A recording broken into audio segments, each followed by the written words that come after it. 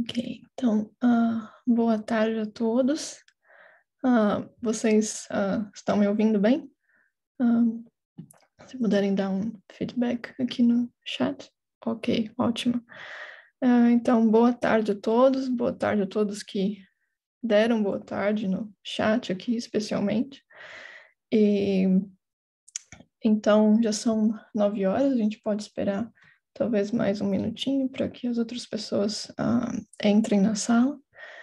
E eu queria começar perguntando para vocês se uh, vocês receberam a mensagem pelo sistema do, da plataforma dos cursos, o CBPF, dizendo que uh, o material da primeira aula, os slides, já estão disponíveis para baixar. Eu não sei se algum de vocês já tentou fazer o download e conseguiu, se vocês puderem confirmar que uh, conseguiram uh, abrir o PDF? Ok, ótimo. Uh, então, para os que não viram o e-mail, então a mensagem só dizia que o, os slides da primeira aula estão disponíveis e depois dessa aula eu já pretendo colocar os slides que eu, que eu vou apresentar hoje. Ótimo. Ok, e eu também gostaria de uh, uh, perguntar para vocês se tem, se vocês têm alguma pergunta da aula anterior.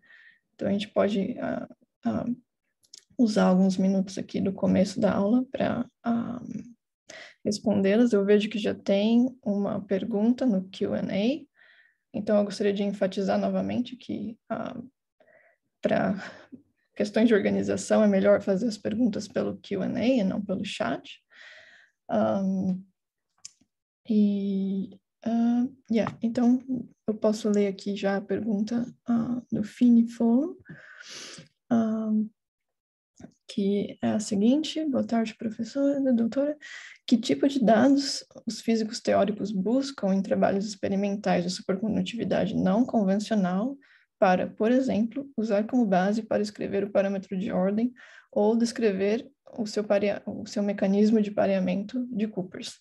Então, essa é uma ótima pergunta para a aula de hoje, e uh, essa a resposta para a aula de hoje vai ser praticamente dada ao longo do prime da primeira parte da aula de hoje. Então, uh, uma, um, dos, um, dos, objetivos de hoje é uh, usar o que a gente aprendeu na aula passada sobre teoria de grupos para classificar os parâmetros de ordem e eu, eu nesse, uh, nessa aula eu vou também uh, ressaltar quais são as consequências experimentais para cada tipo de uh, supercondutividade não convencional. Então, eu vou sugerir que eh, a gente espere um pouco, e se você ainda tiver a pergunta no final da aula, a gente pode a voltar a ela, mas eu acredito que ela vai ser respondida ao longo da aula de hoje.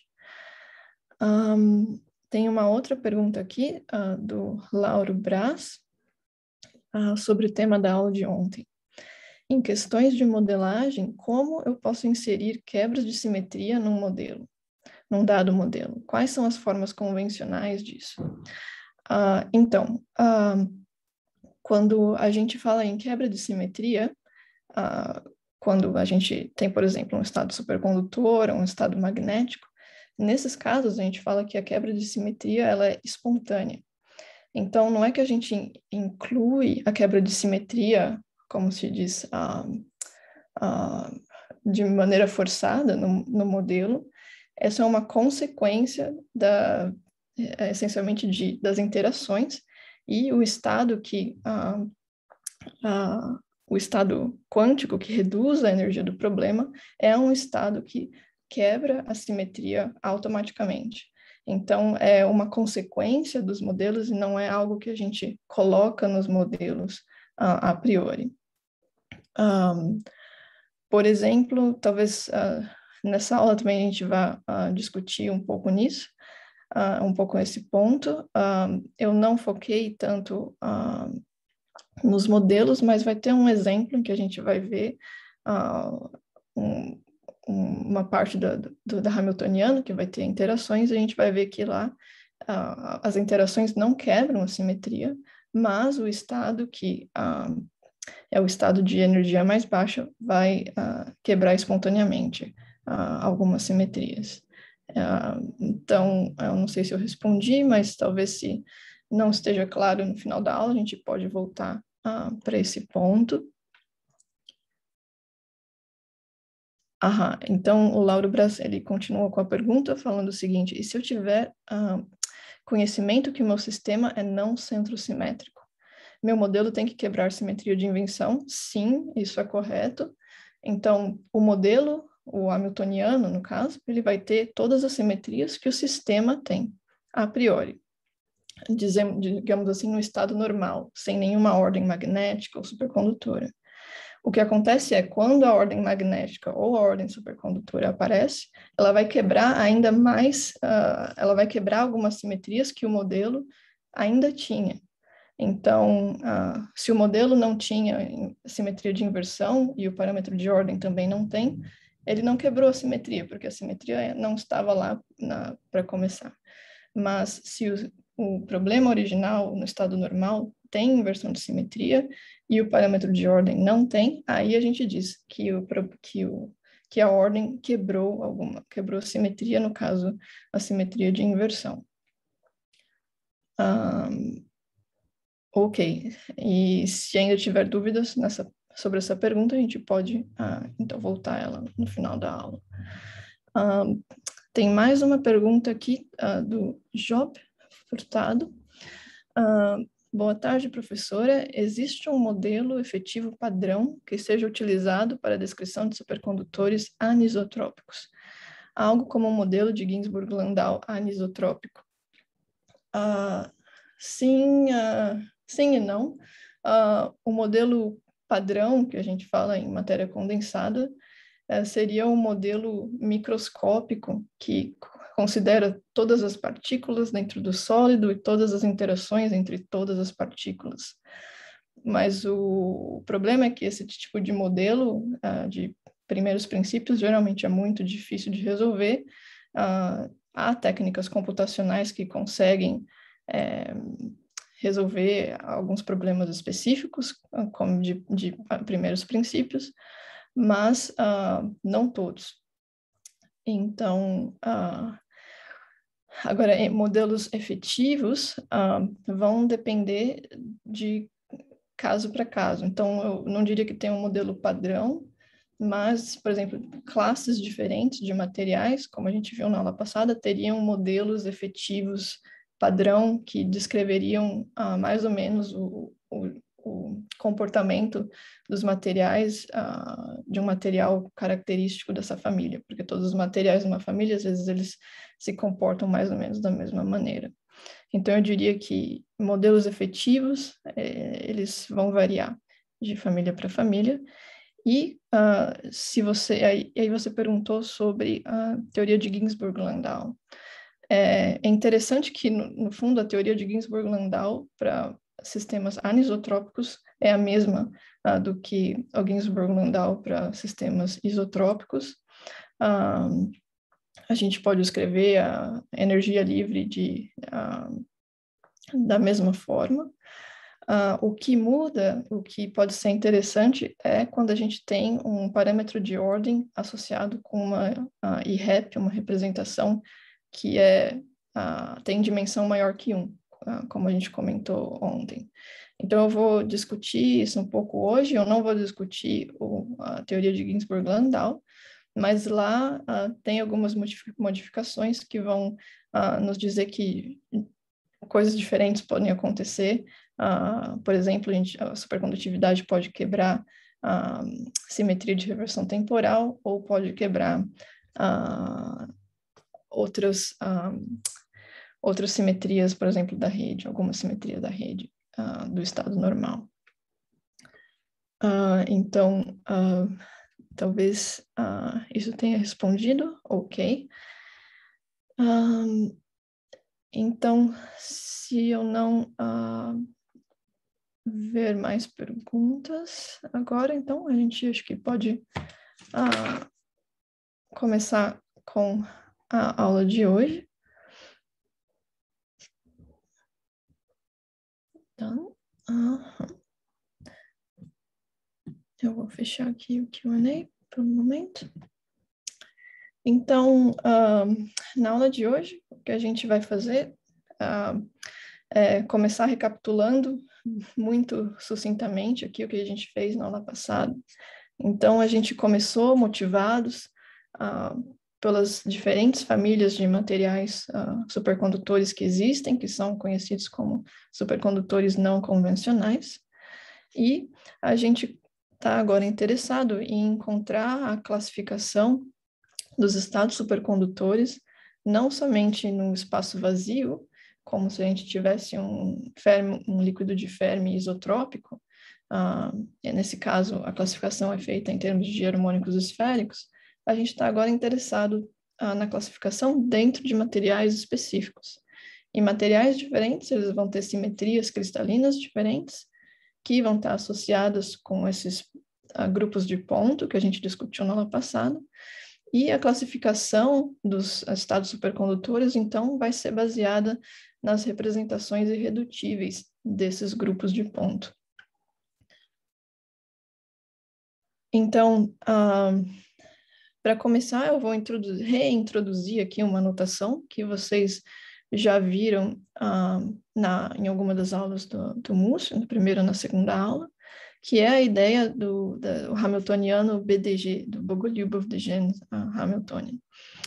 Uh, essa Hamiltonian é escrita de uma, em uma forma matricial, uh, e essa matriz contém informação sobre o estado normal, o estado eletrônico do sistema, descrito aqui por esse, esse bloco uh, H0, que é o Hamiltoniano do estado normal, e o parâmetro de ordem supercondutor delta aqui, que a princípio também é uma matriz.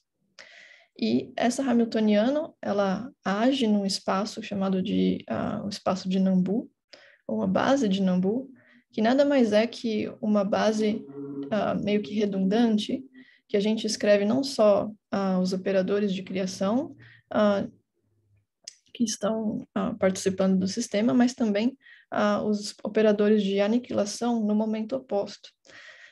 no momento oposto. Então, essa, essa base nos permite, então, inserir aqui o parâmetro de ordem supercondutor na parte uh, antidiagonal dessas matrizes. Um, e geralmente a gente se refere a esses dois espaços como o espaço de partículas e o espaço de buracos. Um, e em cada espaço desse, por exemplo, nos espaços das, no espaço das partículas, a gente pode ter um número arbitrário de, de elementos aqui, de por exemplo, de orbitais diferentes, que, que estariam em, em, sítios diferentes, associados com diferentes elementos químicos, uh, que vão poder variar de apenas um até um número n arbitrário. E a gente também faz, uh, explicita aqui nessa base o spin, que pode estar para cima ou para baixo. Então, se a gente for descrever explicitamente, se a gente usar essa base uh, de operadores, e fazer a multiplicação das matrizes aqui com esses uh, de Nambu, o que a gente encontra é nada mais do que a Hamiltoniana do estado normal, que é do tipo CDHC, uh, ah, para cada uh, banda ou cada orbital. E aqui os, os termos da diagonal oposta ou da antidiagonal são os termos que vão, ver com, vão uh, vir com CDH, CDH ou CC, uh, como a gente já sabe, já, já viu, por exemplo, uh, no caso do Hamiltoniano do tipo campo médio, no, do qual a, no qual a teoria BCS é, é baseada. Então, agora o que a gente faz com essa notação é essencialmente uma generalização ah, dessa teoria simplificada do tipo BCS, que tinha só um tipo de partícula com spin. A gente pode pensar que era um problema de somente um orbital ou uma banda com spin. E agora essa notação nos permite introduzir ah, vários ah, degrees of freedom, vários graus de liberdade no problema de uma forma organizada, digamos assim. Um, Agora, com, voltando à ideia de simetrias, se o meu sistema ele tem uh, alguma simetria, essa simetria ela pode ser implementada por uma operação unitária que vai fazer uh, nada mais do que uma mudança de base. Então, se eu comecei com os estados com a base uh, phi, aqui phi com momento Q, eu posso fazer uma transformação para uma outra base phi tilde. Uh, então, se a gente tem essa primeira parte aqui da Hamiltonian BDG, que é a Hamiltoniana uh, do estado normal, a gente pode introduzir aqui a identidade entre os operadores e a matriz uh, que representa o Hamiltoniano, de forma que a gente encontra a mesma coisa. Então, a gente pode redefinir aqui esses operadores tilde com uma matriz tilde, e se essa, uh, essa operação U está associada com uma simetria uh, do sistema, a gente deve recobrir o, a Hamiltoniana uh, que a gente, com a qual a gente começou, ou essa multiplicação de φ daga h φ, ela deve ser a mesma nessa base ou nessa base. agora, algo um pouco diferente aparece se a gente fizer a transformação para os termos que carregam o parâmetro de ordem delta, o gap supercondutor. Note que aqui a gente tinha φ daga φ, agora a gente tem φ daga φ uh, estrela uh, no momento oposto. O estrela aqui quer dizer o, o conjugado complexo. Então, se a gente fizer o mesmo exercício de introduzir a identidade, aqui a gente pode introduzir da mesma forma, mas aqui, para definir o operador φ tilde, da mesma forma que a gente definiu para a Hamiltoniana do estado normal, a gente precisa introduzir aqui de uma maneira diferente, tirando o complexo conjugado aqui e pegando essa transformação no momento oposto. Então, o que a gente aprende desse exercício de uh, tentar é, escrever a hamiltoniano, tanto na parte normal como a parte do parâmetro de ordem, em bases diferentes que estão relacionadas por uma operação de simetria, a gente aprende que o hamiltoniano é transformado dessa maneira, com U à esquerda e U da H à direita, mas que o parâmetro de ordem transforma de uma maneira ligeiramente diferente, que é com o U à esquerda e o U uh, transposo, uh, transposto uh, no momento uh, oposto aqui à direita. isso, a princípio, não é sempre muito crítico, porque pode ser que essa operação unitária seja simétrica e independente do momento, muitas vezes é o caso, mas quando a gente começa a falar de operações de ponto, de um sistema cristalino, esse detalhe aqui ele se torna bastante importante e pode, se a gente não tomar cuidado, é, a gente encontra uma classificação ah, ah, errada ah, dos estados supercondutores. Então, focando agora no parâmetro de ordem, ou na matriz, agora que está relacionada com o parâmetro de ordem, vocês lembram da primeira aula que o Múcio uh, comentou, e vocês também já devem saber pela teoria BCS, que o parâmetro de ordem ele pode ter dois índices aqui, uh, que correspondem ao, aos índices do, uh, dos graus de liberdade dos elétrons. Então, geralmente é só o spin, up and down. Então, essa função de correlação anômala aqui, ela pode vir com quatro uh, quatro uh, tipos, spin up, up, para cima, para cima, para cima, para baixo, para baixo, para cima e para baixo, para baixo. E isso pode ser organizado em uma matriz uh, dois por dois. Mas de forma mais geral, se a gente tem mais graus de liberdade no sistema, essa matriz, uh, essa estrutura ainda pode ser representada como uma matriz, mas vai ser uma matriz maior do que uma matriz dois por dois, né? E pela propriedade de antissimetria dos férmions, o fato de que se a gente uh, trocar aqui a ordem desses operadores, a gente vai encontrar essencialmente esses índices trocados, que significa que a gente tirou a transposa, o transpo a transposta da matriz inicial, a gente vai mudar o sinal do Q e a gente vai ganhar um sinal de menos uh, pela antissimetria dos férmions.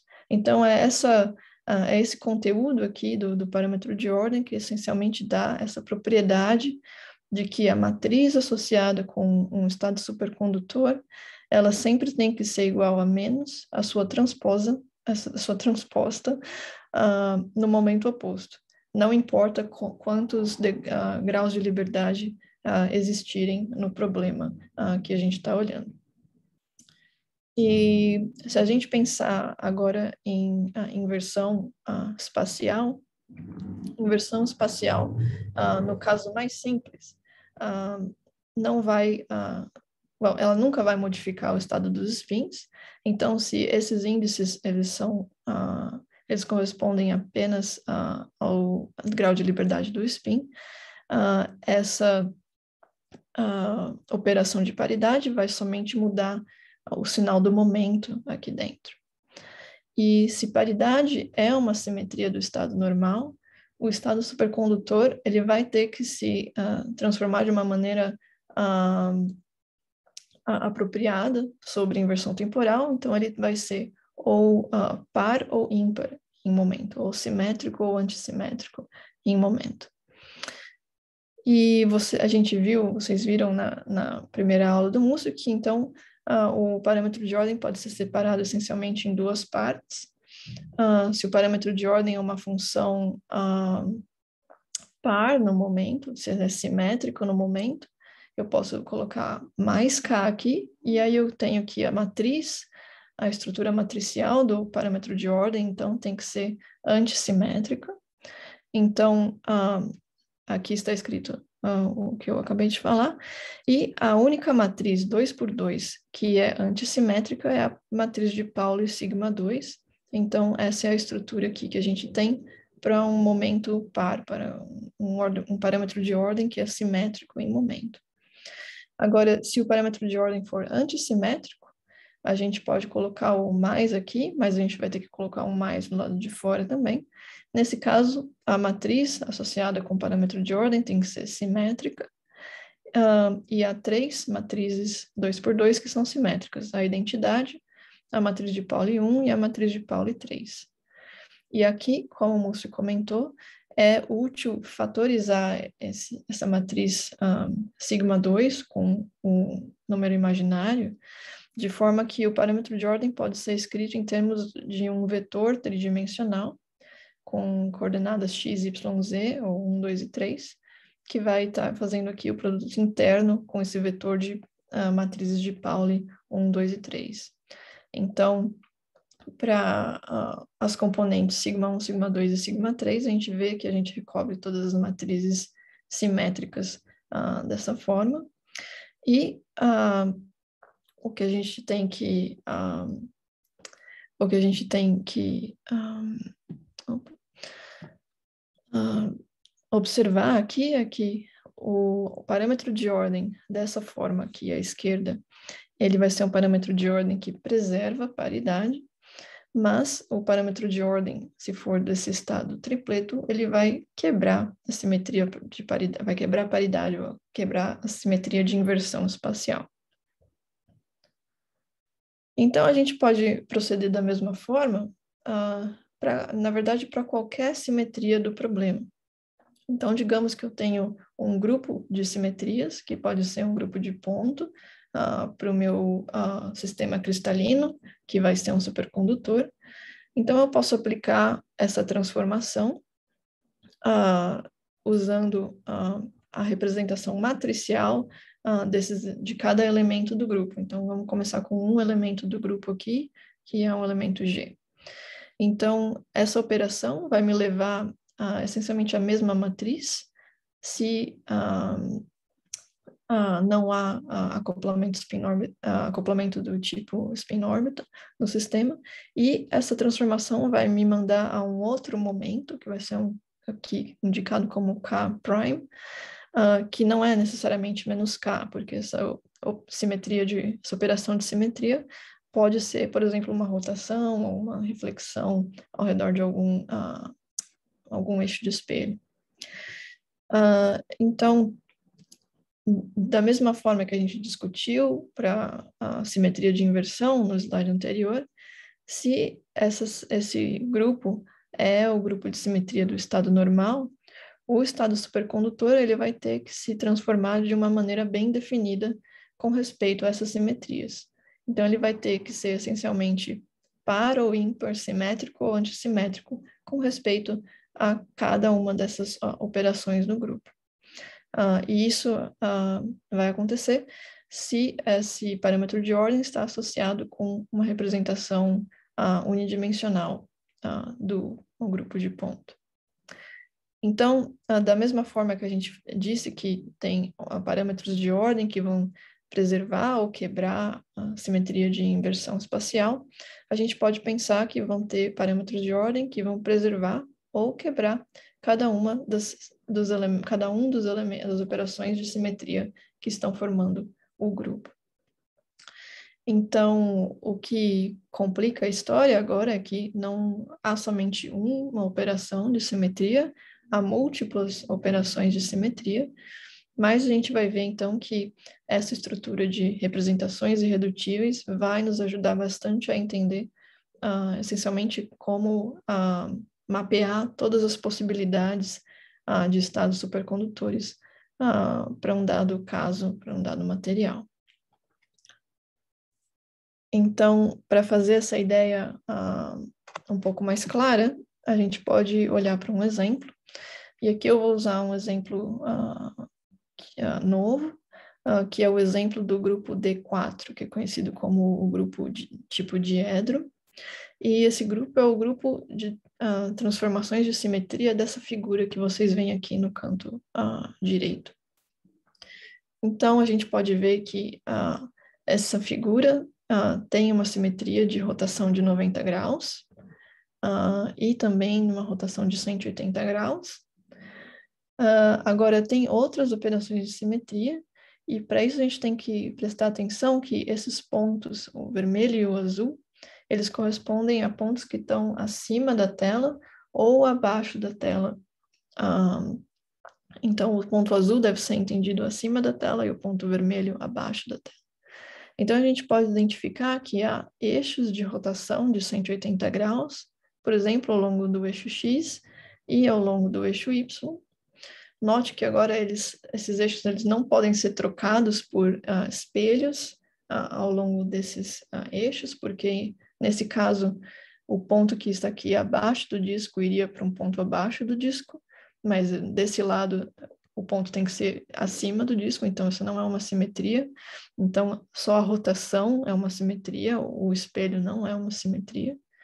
E a gente pode identificar também do outros dois eixos de rotação de 180 graus, que também vão levar a figura ela mesma, que são esses eixos diagonais aqui.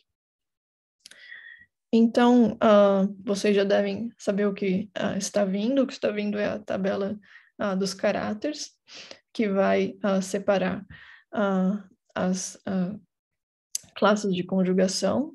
E aqui a identidade sempre está sozinha, as rotações de ordem 4 ao redor do eixo Z formam uma classe. As rotações de ordem 2 ao longo do eixo Z formam outra classe.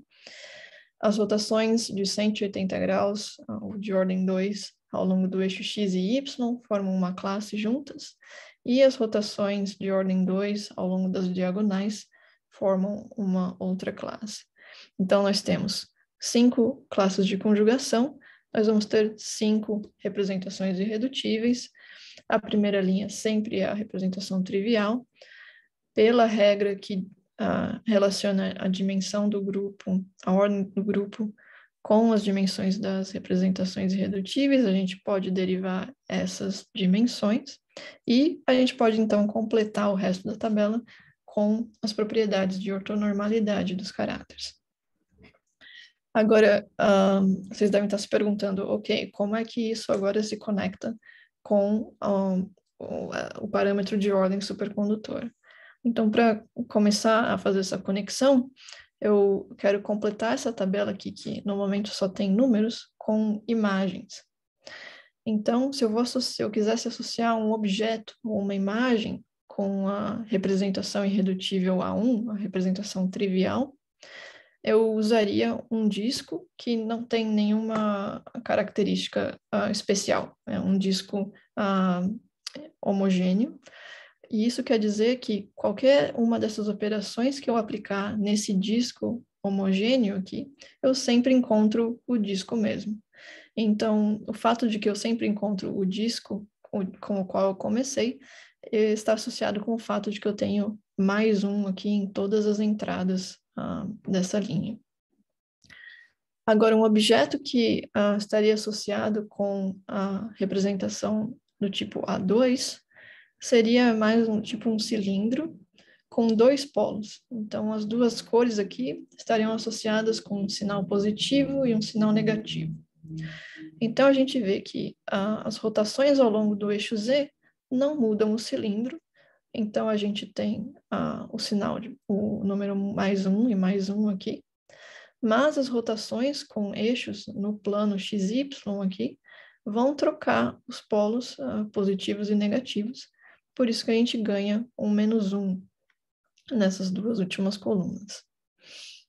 Uh, se a gente continuar com essa análise para a representação do tipo B1, a gente pode pensar num disco uh, que tem quatro uh, partes, positivas e negativas, uh, seguindo mes o mesmo esquema das cores aqui.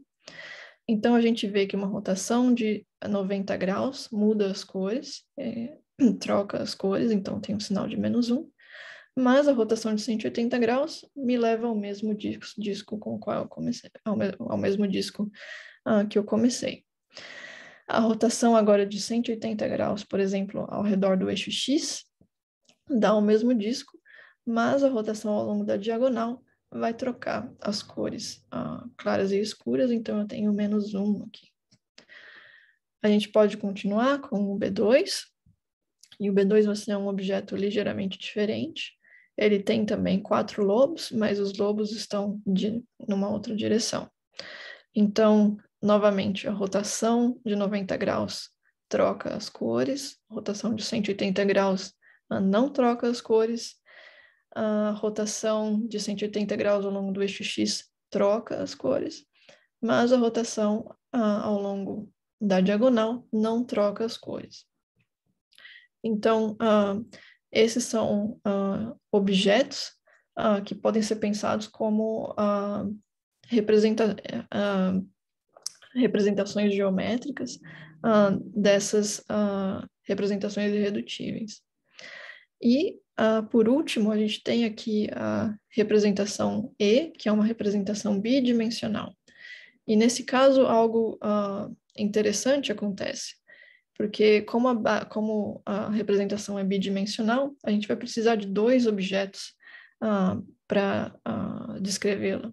Então, a gente pode pensar em dois uh, círculos com uh, essas meias luas aqui, uh, na vertical ou na horizontal. Então, a identidade não faz nada com esses círculos, e o fato que a gente encontra aqui, ó, mais dois, é porque a, gente, a gente pode pensar na operação agindo no espaço de objetos. Então, a matriz ah, que representaria a identidade, vai ser a matriz identidade 2 por 2, então o traço é 2. Se a gente aplicar uma rotação de 90 graus, a gente leva o primeiro objeto ao segundo e o segundo objeto a menos o primeiro objeto, ah, como está indicado aqui. Então, se eu for pensar na matriz ah, que faz essa troca dos objetos, ela vai ter que ser uma matriz que só tem elementos na antidiagonal. E dessa forma, então, o traço aqui dessa matriz seria zero. Uh, continuando, uma rotação de 180 graus troca o sinal dos dois objetos. Então, em termos de uma matriz, uh, essa operação seria o menos um, menos um. Então, o traço é menos dois, como está indicado aqui. Uh, a rotação ao longo do eixo X uh, não vai fazer nada com o primeiro objeto, mas vai mudar o sinal do segundo objeto. Então, de forma matricial, essa operação seria o 1 menos 1, então o traço é zero, como indicado aqui, também é consistente. E o último exemplo, a gente vai ter que rodar uh, os discos no eixo diagonal, então a gente vê que o primeiro objeto vai para o segundo objeto, e o segundo objeto vai para o primeiro objeto. Então, de novo, uh, essa operação no espaço dos objetos vai ser uma matriz antidiagonal e então o traço vai ser zero. Então a gente vê que essa é uma maneira um pouco mais visual de entender uh, como é que a gente uh, pode representar uh, essas representações irredutíveis. E então dessa tabela é, é bacana ressaltar que a gente pode pensar é, em termos de objetos, mas a gente também pode pensar em termos de funções. Ah, então, no caso, a representação trivial seria uma função constante, a representação A2 estaria ah, associada com a coordenada z, ah, a representação B1 e B2 estão associadas com combinações das coordenadas x e y em, segunda ordem, a B1 como uh, x quadrado menos y quadrado e a B2 como x vezes y. E uh, a representação bidimensional, como a figura já sugere, uh, poderia ter como funções base x e y, por exemplo. E essas funções de base, elas podem ser lidas também diretamente da, dessas tabelas que eu mostrei na aula passada, que estão indexadas em livros de teoria de grupos ou em sites hoje em dia que uh, uh, um, fazem essa informação, uh, põem essa informação disponível na web. E é interessante ressaltar que todos os supercondutores, todas todos os estados supercondutores associados com representações que não são a representação trivial, então eles vão ser chamados de uh, supercondutores não convencionais. Então, vocês veem que há aqui, no caso de que o material tenha esse grupo de simetria específico, há diferentes tipos de uh, supercondutividade não convencional que pode aparecer. E uma coisa que é comum entre é muito comum em supercondutividade não convencional, uh, é a presença de nodos na estrutura uh, do parâmetro de ordem. E os nodos, ou em particular as suas direções uh, no espaço, no espaço dos momentos, particularmente, é, está associada com essa mudança de sinal de mais um para menos um. Então, toda vez que a gente tem aqui uma interface entre a cor clara e escuro, a clara e escura, a gente teria então um nodo uh, no parâmetro de ordem supercondutora. Quer dizer que o parâmetro de ordem tem que passar por zero para mudar de sinal. Uh, e isso vai acontecer nessas interfaces das cores uh, claras e escuras. Então, muito bem, a gente aprendeu que há diferentes tipos de supercondutores não convencionais, quais são as principais coisas que a gente pode ver nos experimentos, como foi perguntado agora no começo da aula, que vão nos permitir distinguir, primeiramente, supercondutores convencionais de supercondutores não convencionais. Então, uh, só para recapitular e introduzir algumas imagens uh, que eu acredito que vão ser úteis, a gente tem, em princípio, essa estrutura da Hamiltoniana do tipo BDG, que tem a, a Hamiltoniana do estado normal, que descreve as bandas. Por exemplo, aqui a gente teria um problema bem simples, somente com uma banda eletrônica, e o a potencial químico aqui é zero, então a superfície de Fermi teria, uh, estaria associada com esses dois pontos, QF menos QF. Mas a estrutura BDG, ela introduz essa redundância que corresponde a, a banda do tipo uh, buraco uh, dessas partículas, que pode ser entendida como a banda invertida desenhada aqui.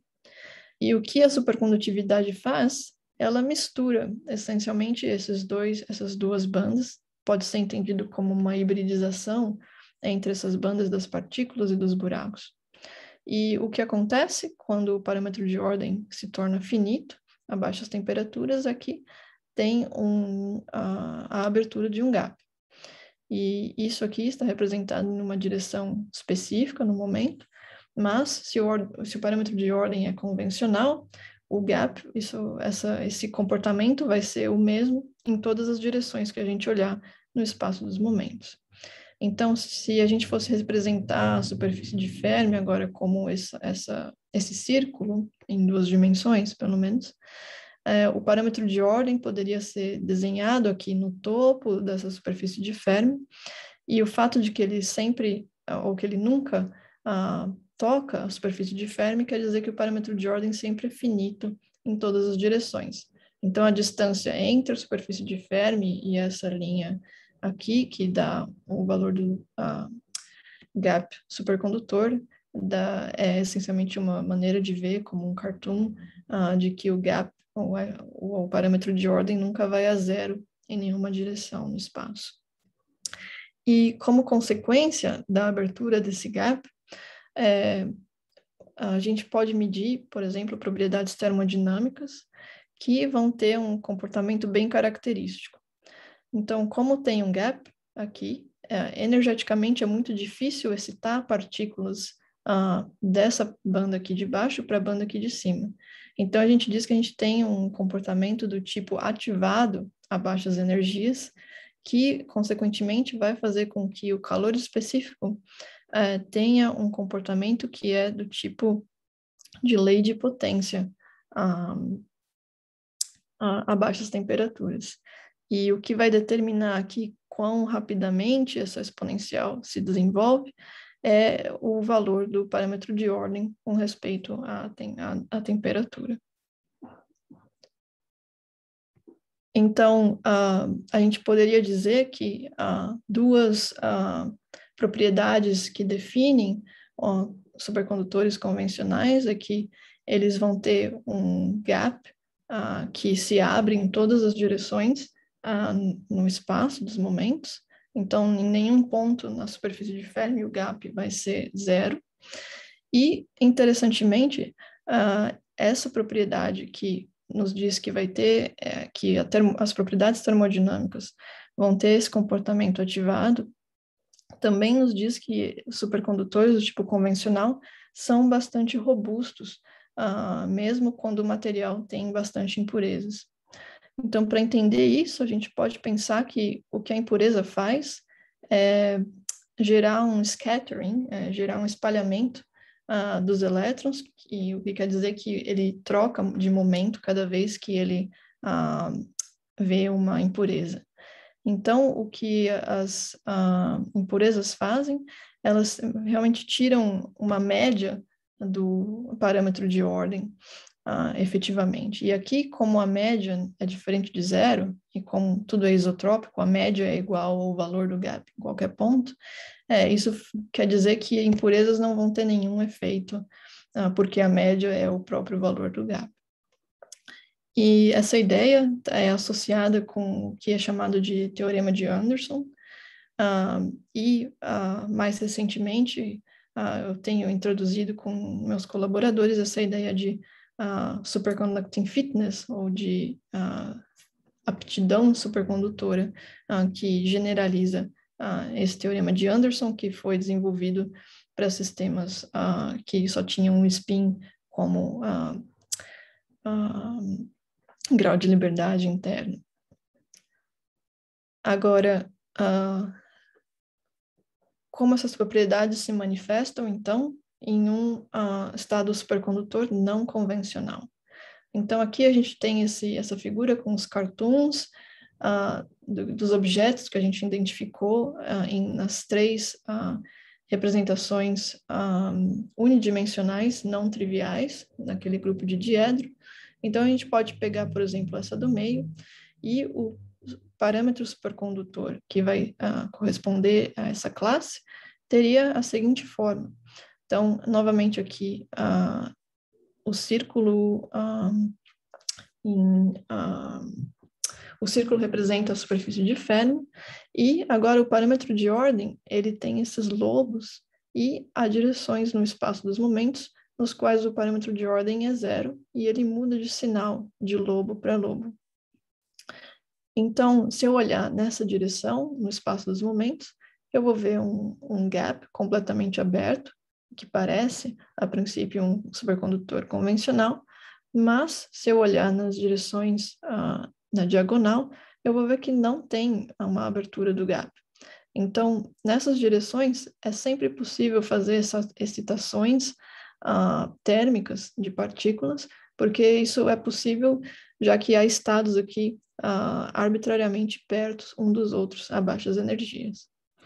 Então, como consequência, uh, propriedades termodinâmicas, como o calor específico, não vão mais ter aquele comportamento ativado com uma exponencial, mas vão ter um comportamento que a gente chama de power law, ou lei de potência.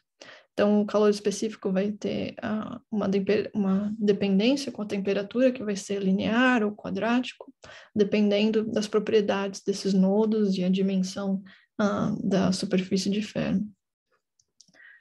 Então, uh, com, essas, com essas duas imagens, a gente pode introduzir, introduzir duas propriedades que definem supercondutores não convencionais, uh, e aqui não é uma definição absoluta, mas é o que acontece na maioria das vezes, é que primeiro, o, o primeiramente, o, o gap, o parâmetro de ordem, ele tem nodos que vão levar a propriedades do tipo power law para a termodinâmica, e se a gente pensar novamente uh, no efeito de impurezas, agora se a gente tirar a média do gap, a gente encontra zero. E esse zero é bem robusto, porque ele é dado por, por assimetria.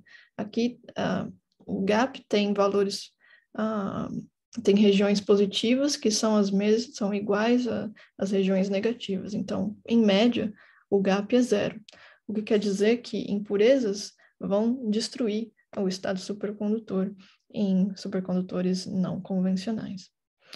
E Nesse sentido, então, a ideia de a teorema de Anderson uh, não é válida, mas essa ideia de uh, superconducting fitness nos permite uh, fazer uma generalização e identificar supercondutores não convencionais que, na verdade, são bastante robustos na presença de impurezas. Um, eu vou continuar agora discutindo uh, o que acontece se a representação é bidimensional. E vocês lembram desse, uh, dessa figura que a gente tinha para representação do tipo E, uh, no exemplo que a gente está vendo.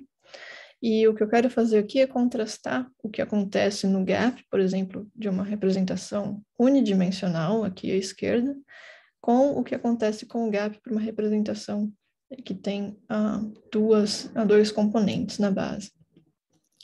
Então, cada uma dessas figuras aqui corresponde à realização de um, uh, um tipo de, supercondutiv de supercondutividade não convencional associado com uma das funções uh, de base. O que é interessante aqui é ver que se a gente tirar a amplitude do, do gap, a amplitude aqui, se a gente esquecer uh, os sinais e olhar só as distâncias aqui da, do gap, para a superfície de Fermi, a gente vê que no caso unidimensional, a, a magnitude do gap é, restore, é, como se diz, preserva todas as simetrias com as quais a gente começou. Então, rotação de 90 graus aqui é uma simetria da amplitude do parâmetro de ordem, assim como as rotações ao redor do eixo x e y e das diagonais. Mas se a gente pegar a amplitude dos parâmetros de ordem com esse tipo de realização, a gente vê que eles quebram a, a simetria. Então, aqui a rotação de 90 graus não é mais uma simetria se somente esse componente se manifesta no material.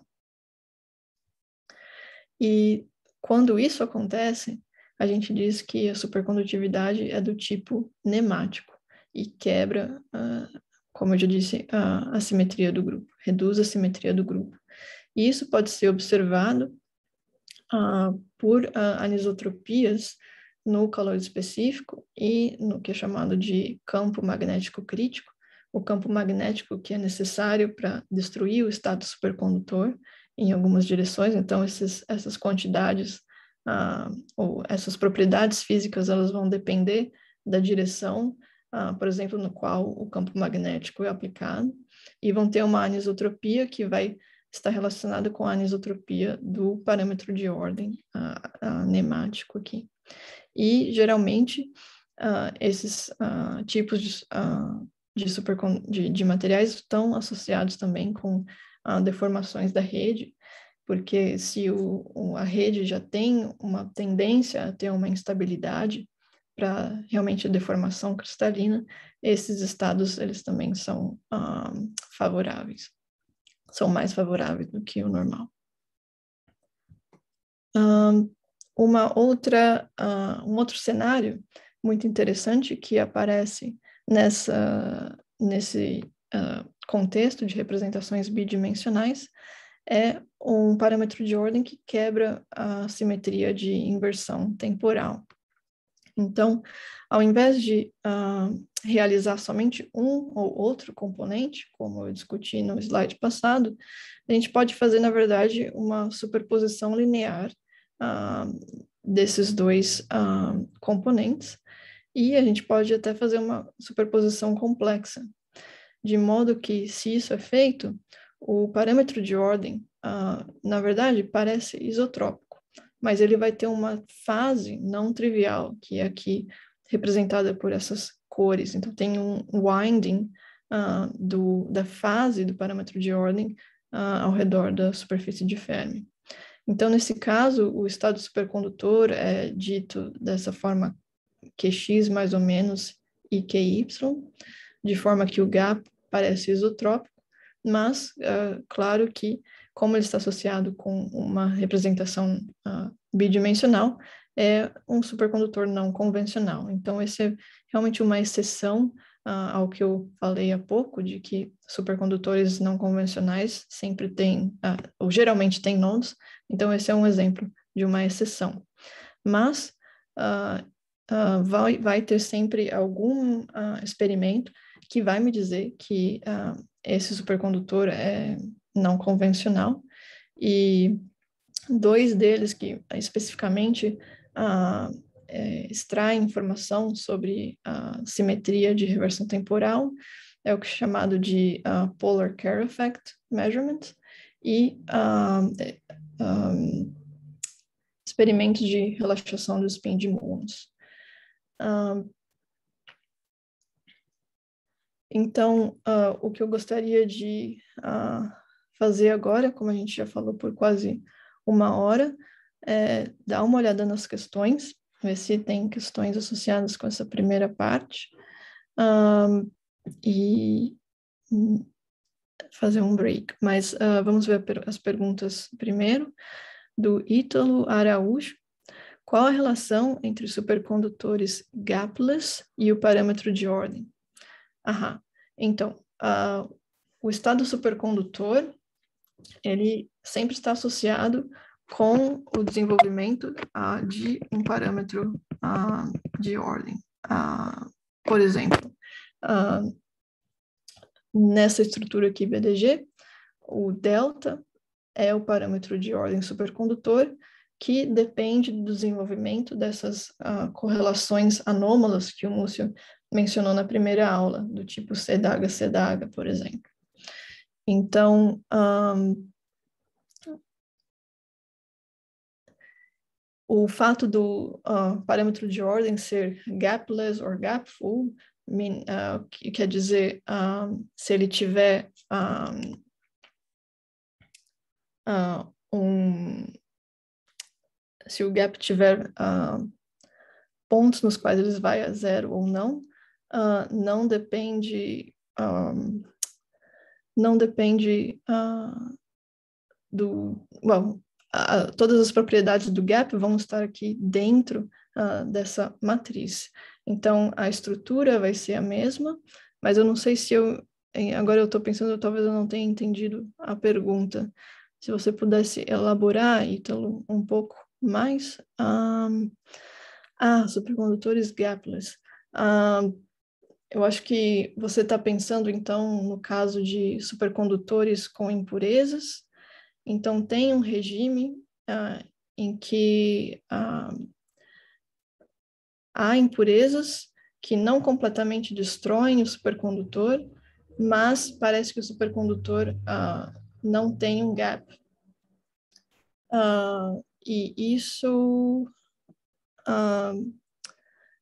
isso não quer dizer que não tem um parâmetro de ordem, porque para estar no estado supercondutor é, é necessário que essa correlação anômala seja finita, mas acontece que se a gente fizer os cálculos e considerar o efeito das impurezas, há um regime estreito na concentração de impurezas, no qual parece que o gap ele foi ele está sendo preenchido por estados associados com a presença de impurezas.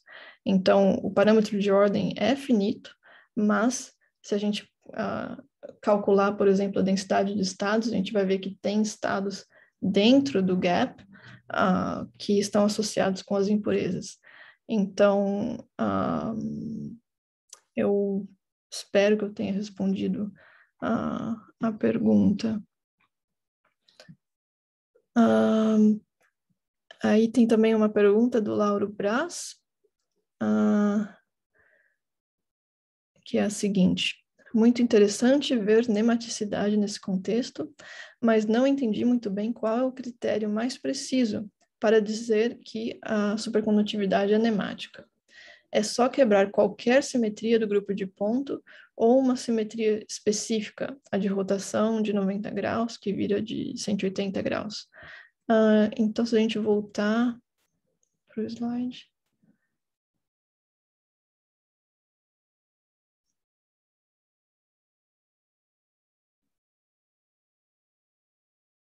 Uh, aqui.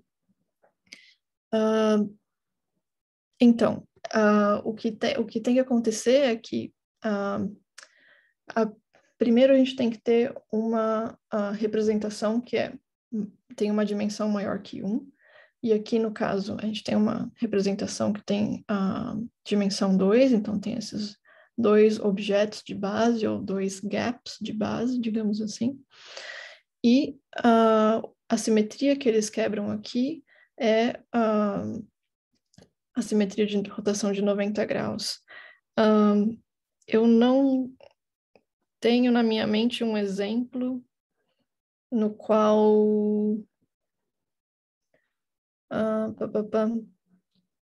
uma outra simetria é quebrada, mas note aqui que não somente a simetria de rotação é quebrada, mas a, a simetria do espelho é quebrada pelo gap, não pelo, pela amplitude, mas pela combinação da amplitude e da fase. Um, mas a princípio eu diria que sim, é, uh, a princípio, qualquer simetria, uh, de forma que somente uma dessas funções de base uh, são realizadas, então estaria associado com o estado nemático.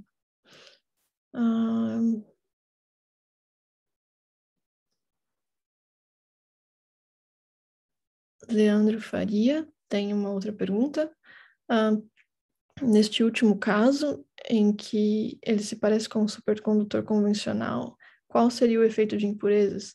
Ah, ah, você diz no que quebra a simetria temporal, ah, neste caso, que parece convencional, mas na verdade não é. Ah, como ultimamente o estado pode ser pensado como a a sobreposição desses dois, a gente pode pensar nessas duas funções como funções isoladas. Uh, então, a gente pode pensar na média das duas funções uh, separadas. E a média de cada uma dessas funções na base vai me dar zero, o que quer dizer que o efeito de impurezas uh, vai ser relevante neste caso. Então,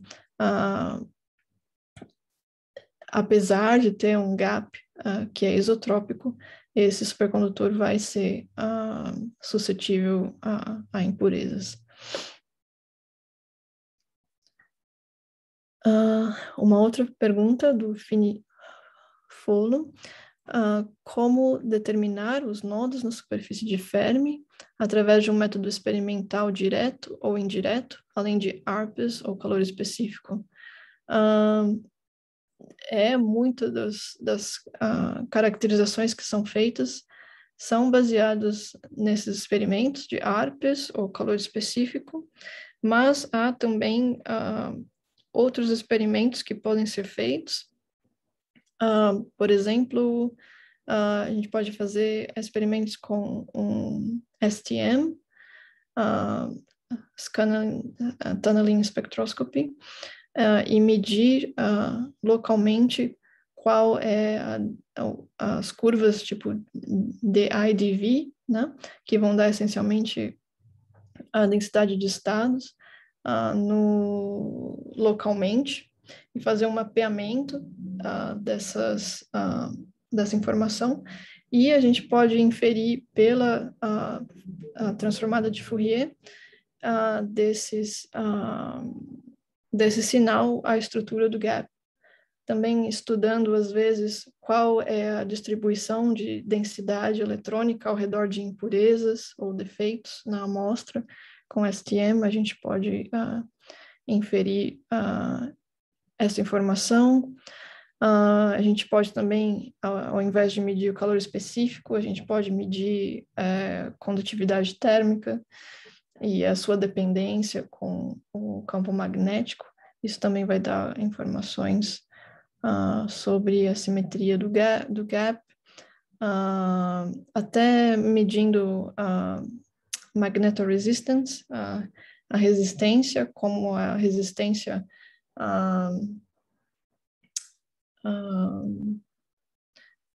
e a, é isso, talvez seja um pouco mais complicado de explicar, mas uh, o, o ponto aqui talvez seja que, uh, sim, há vários outros métodos de uh, se extrair informação sobre o gap, ah, um outro, um outro experimento relevante é experimentos do tipo de é, junção, junções de Josephson, que vão determinar a fase é, relativa entre as duas direções do material, por exemplo, e esse foi um, experimento, um dos experimentos determinantes para concluir que o parâmetro de ordem dos cupratos, por exemplo, era do tipo D wave, do tipo x quadrado menos y quadrado. Então, ah, é, tem várias ah, possibilidades que são complementares e que podem ser experimentos de natureza bem diferente.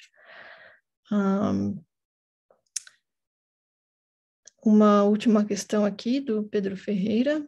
Uh, você abordará até o final do curso de que forma a topografia da superfície de Fermi influencia diretamente um supercondutor ser convencional ou não convencional? Uh, não dire... eu não vou discutir isso diretamente, mas uh, um pouco indiretamente, uh, talvez na aula que vem, se o tempo permitir. Uh, isso está relacionado com essa ideia de superconducting fitness. Então, quais são as propriedades do estado normal? Não, só necessari não necessariamente só a topografia da superfície de Fermi, mas também a sua composição em termos de orbitais e direções do spin, que podem ser bastante ricas no caso nos casos que a gente tem, por exemplo, acoplamento do tipo spin-órbita. Então, todos esses parâmetros que determinam não só a topografia ou a topologia da superfície de Fermi, mas também a sua composição, uh, influenciam, sim, uh, o estado supercondutor Uh, mas eu diria que ele não vai influenciar no sentido de ser convencional ou não convencional, mas vai influenciar mais em, na escolha do, do, do, supercondutor não convencional que pode se desenvolver no material. Um, aí tem uma pergunta do Ítalo uh, que pergunta de que forma são vistos os vórtices segundo a generalização da BCS. Uh, ah, eu acho que a pergunta quer dizer uh, como são vistos teoricamente.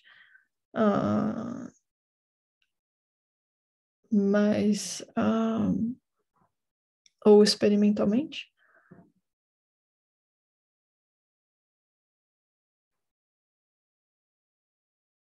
Ah, teoricamente, ok. Uh, então, uh, a princípio, a teoria uh, mínima que te daria informação sobre os vórtices seria uma teoria do tipo Ginsburg-Landau, e no espaço real, em que a gente poderia escrever o parâmetro de ordem e os seus gradientes no espaço, como o parâmetro de ordem pode variar no espaço. Então, o fato de uh, ter direções no espaço em que o, no espaço dos momentos, em que o parâmetro de ordem vai a zero, vai se refletir nas propriedades uh, dos vórtices. Uh, então, isso é algo que, é, sim, vai levar a diferenças da, da física e dinâmica desses vórtices, mas não é algo que eu pretendo cobrir uh, nessas aulas. Mas, uh, sim, é possível fazer essa generalização e não é, uh, não é muito complicado quando você já entende como essa descrição funciona para o caso BCS. ok eu não vejo mais perguntas no momento, então eu vou sugerir que a gente faça um, um intervalo uh, curtinho, então, vamos dizer de três minutos. Aqui no meu relógio são dez e sete. Uh, então, uh, até já já, a gente pode pegar um copo d'água e em alguns minutos a gente está de volta. Então, até mais.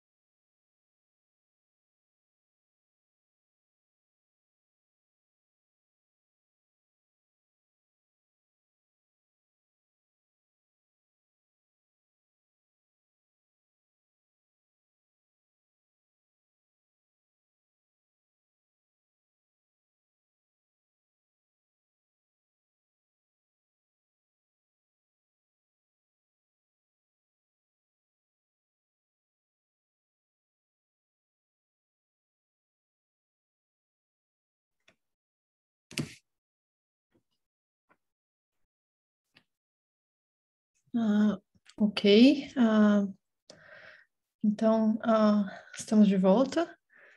E então gostaria de continuar com a, discussão. Onde paramos? ok, aqui.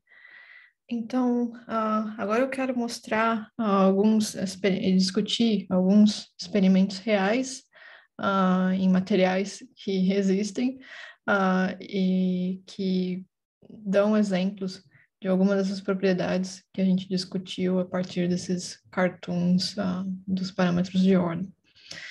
Então, uh, o primeiro exemplo é um exemplo de um material que o Múcio comentou na primeira aula, e eu coloquei aqui, já que ele mencionou, que é o, esse estrôncio 2, rutênio, oxigênio 4.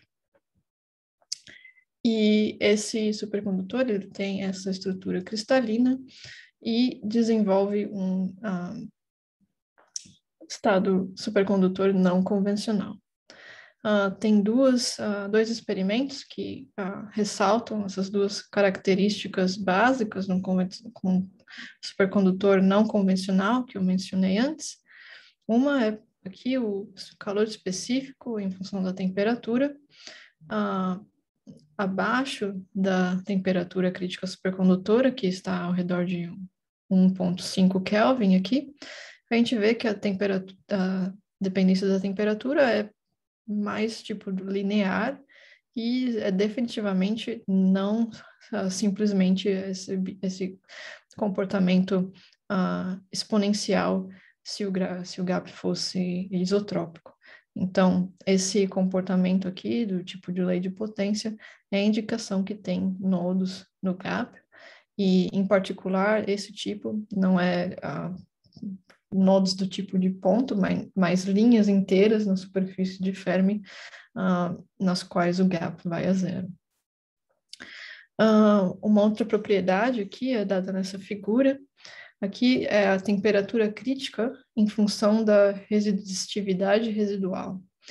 Então, a resistividade residual, resistividade é, a temperaturas muito baixas, ela geralmente satura para um valor, ah, e quanto maior esse valor, quer dizer que a, a sua amostra é mais uh, suja, ou tem mais defeitos.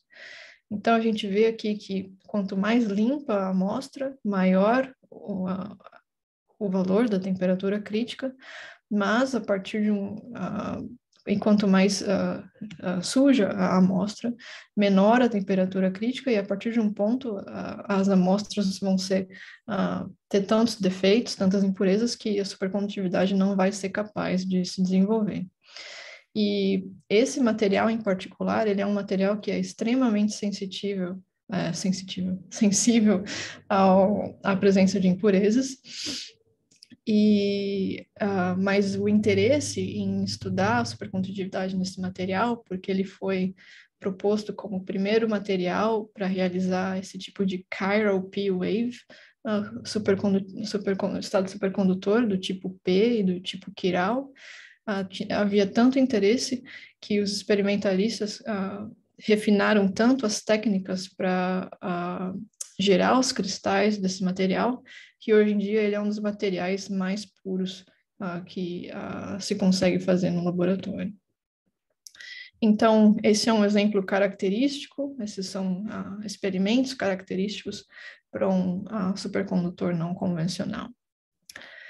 Agora, a respeito das propriedades do spin, as propriedades magnéticas, só que brevemente relembrando que se o parâmetro de ordem do tipo singleto, o spin do par é zero, então a gente tem essa configuração para os spins uh, do par. Mas se a configuração é do tipo tripleto, há três, uh, três tipos de uh, configurações para os spins. As duas primeiras aqui, com o dx e com o dy, são chamadas de equal spin pairing, então uh, pareamento de spins que são iguais ou na mesma direção, mas se o parâmetro de ordem estiver na direção z, a gente tem uh, opposite spin pairing, o, o pareamento de spins opostos, uh, que seria o, o, análogo aqui a componente Sz igual a zero uh, do tripleto, do estado de tripleto. Né? Então, como é que a gente pode distinguir essas configurações do spin uh, em algum experimento? Então, o experimento mais apropriado para investigar isso é o que é chamado de uh, night shift, que é nada mais do que uma medida da, da suscetibilidade magnética através da resposta do momento magnético nuclear. Então, é, aqui NMR uh, é para Nuclear Magnetic Resonance. Então, quando a gente vai do estado normal para o estado supercondutor, os spins dos núcleos vão sentir uma diferença. E essa diferença é, essa diferença é quantificada aqui por esse night shift. Uh, então, uh, o que a gente observaria se o estado supercondutor é no, está no estado do singleto, acima da temperatura crítica, a gente estaria num estado metálico e a suscetibilidade seria essencialmente uma constante hum, na temperatura, mas abaixo da temperatura crítica, a gente tem a formação de singletos, que tem o spin total zero, então é como se a gente estivesse reduzindo a suscetibilidade magnética, porque agora os elétrons estão formando esses pares que não são uh, possíveis de polarizar com o campo magnético. Então, a suscetibilidade no estado supercondutor deve uh, diminuir e seria, então, uh, capturada por esse night shift. em contraste, o que acontece se o sistema supercondutor é do tipo tripleto são duas coisas diferentes. Se o campo magnético é aplicado na mesma direção, na direção da, do eixo de quantização, então, digamos que o eixo de quantização desses spins é no eixo Z, se a gente aplicar um campo magnético ao longo do eixo Z, mas o parâmetro de ordem tiver somente componente, componente do tipo X ou do tipo Y, isso quer dizer que eu não vou estar tá quebrando os pares, eu não vou estar tá, uh, gerando um tipo Zeeman uh, splitting, um, uh, das bandas, formando os, os pares de Cooper. Então, eu não vou perder a polarizabilidade uh, desse uh, sistema supercondutor com pareamento de spins iguais.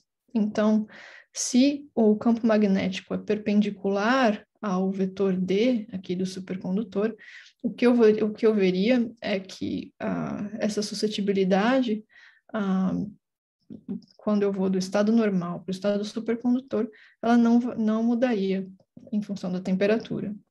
Mas, se o estado supercondutor for, for do tipo DZ, ah, o que quer dizer que, o, nesse caso, o campo magnético seria na mesma direção ah, do vetor D ah, aqui, a gente veria algo semelhante ao que a gente veria para o estado singleto, que é uma redução dessa suscetibilidade abaixo da temperatura crítica.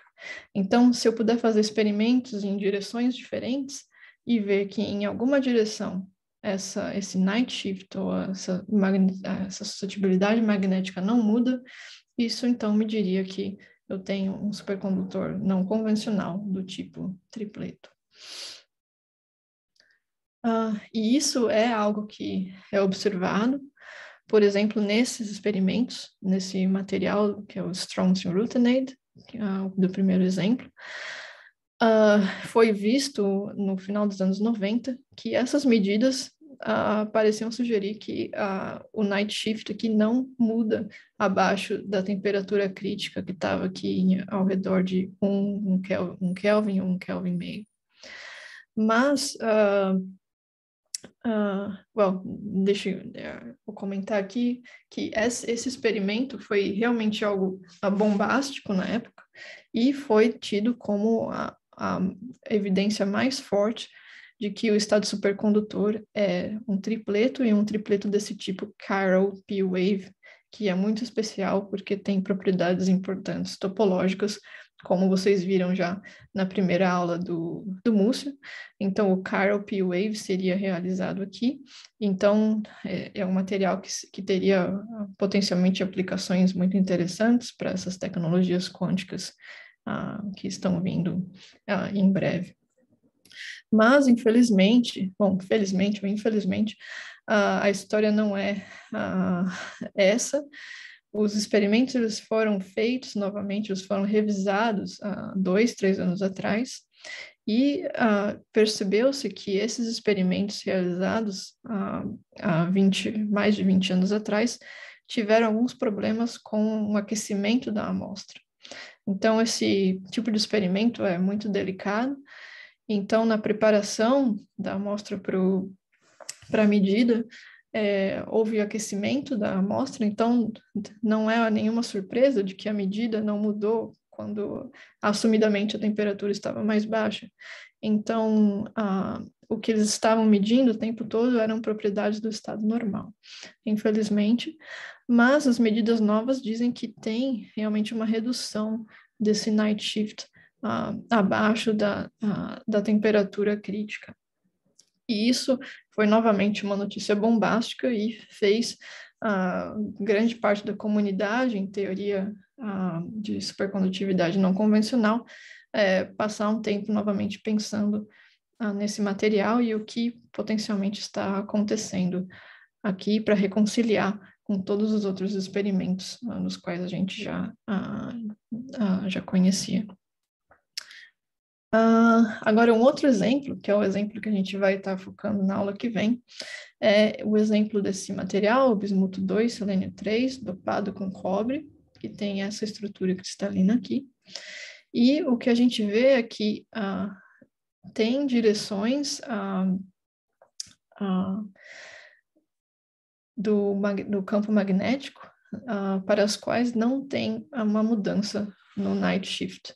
Então, se a gente aplicar o campo magnético nessa direção aqui, ao longo do eixo A da amostra, a gente não vê uma redução do night shift, mas se a gente aplicar o campo magnético nessa direção aqui, rodada por 60 graus, a gente veria uma redução ah, da suscetibilidade magnética, o que quer dizer, então, que ah, muito provavelmente esse material é, uma, é um supercondutor do tipo tripleto. E uh, não, agora, uh, quais são as evidências para um estado nemático? Esse mesmo material aqui, ele uh, nos mostra, por exemplo, pela anisotropia do calor específico, que o supercondutor aqui é um supercondutor nemático. Como é que a gente pode entender isso?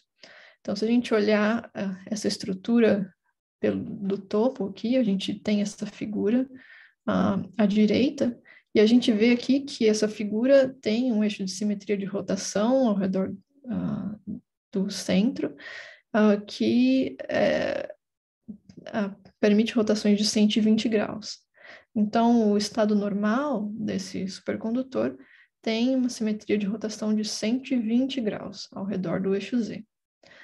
Agora, quando o material vai para o estado supercondutor, o que é visto é que o calor específico ele depende da direção em que o campo magnético é aplicado, mas ele depende só com uma simetria de rotação de 180 graus. Então, uh, isso quer dizer que a rotação de 120 graus não é mais uma simetria do problema, e a simetria foi reduzida uh, de rotações de 120 para rotações de 180 graus.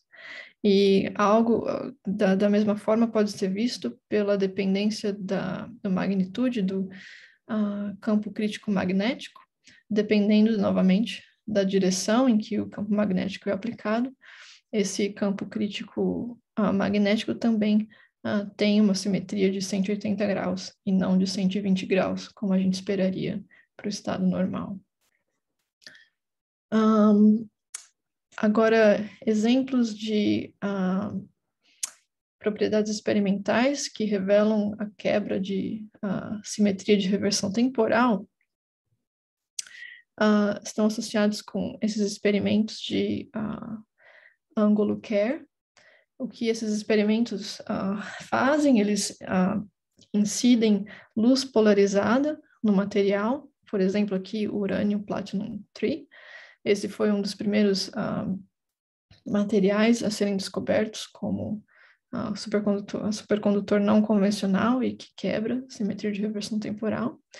Então, esse experimento incide luz polarizada, e se o material não quebra a simetria de reversão temporal, a luz vai ser refletida com a mesma polarização.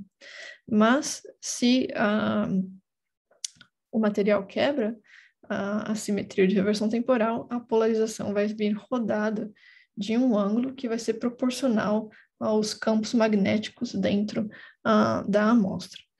Então, esses experimentos podem ser feitos, eles têm que ser experimentos extremamente cuidadosos, porque a gente vê aqui que em radianos a mudança da direção da polarização é de 10 a menos 6 radianos, nesse exemplo.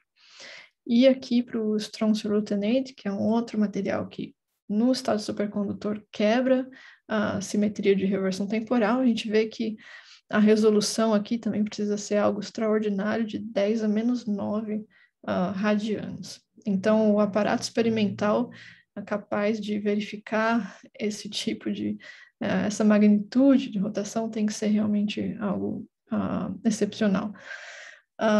Um outro exemplo em que a quebra de simetria de reversão temporal pode ser observada é por esse experimento de relaxação de muons. Então, uh, o que é feito nesse experimento, que pósitrons são uh, uh, inseridos na amostra e eles decaem para muons, e os muons, eles têm uma polarização que vai não, não vai mudar e os muons vão sair da amostra, então, com uma polarização que eles começaram, que vai depender do ângulo de incidência dos, dos prótons, mas se há campos magnéticos dentro da amostra associados à quebra de simetria de reversão temporal, então esses muons, o spin dos muons vão rodar, vão precessar, e esses muons vão sair com uma polarização uh, diferente, não esperada. Então, esses experimentos, eles veem que a relaxação desses uh, spins aumenta assim que a temperatura é, uh, é passada para baixo da temperatura crítica. Então, isso quer dizer que no estado supercondutor, de repente, você tem mais uh, campos internos dentro da amostra, campos magnéticos internos dentro da amostra que vão fazer uh, esses spins relaxarem. Uh, muito bem. Então, voltando aqui a essa motivação, com vários tipos de materiais diferentes, o que eu gostaria de fazer agora é juntar várias peças desse quebra-cabeça que a gente tem agora comentado, que é a rede cristalina, mas também agora a composição dos materiais, que vão ter elementos diferentes e que vão, esses elementos vão carregar orbitais, uh, que vão ter simetrias, aspectos diferentes que a gente tem que levar em consideração. E como eu mencionei na primeira aula, isso se tornou bem evidente na família de supercondutores uh, do tipo uh, iron arsenides e iron pnictides, os supercondutores baseados em iron, em ferro, desculpa. Uh, então, como é que a gente pode começar a pensar em descrever esse tipo de supercondutor pouco mais complexo uh, de forma teórica? Bom, a gente pode começar é, olhando esses quadrantes da Hamiltonian MDG de forma separada.